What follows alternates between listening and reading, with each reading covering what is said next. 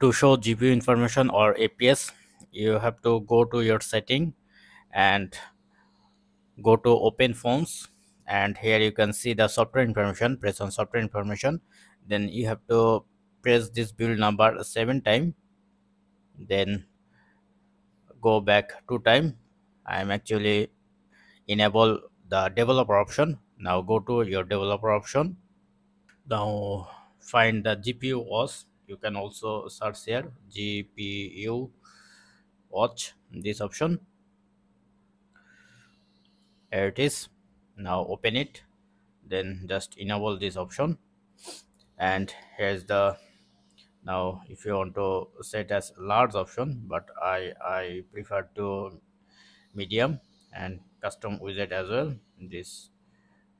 And press on ok and if you go back then you can see those options are available here.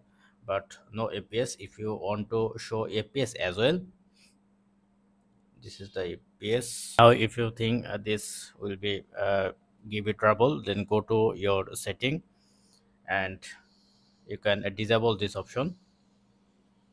To disable it just disable this option and go to the refresh rate refresh rate then you can see the another setting. There it is. Now here you can see the only rate available here. So so that's it. This is how you can easily show this option on your samsung galaxy s24 ultra. Or video helpful. Don't forget to thumbs up and do subscribe. Have a good day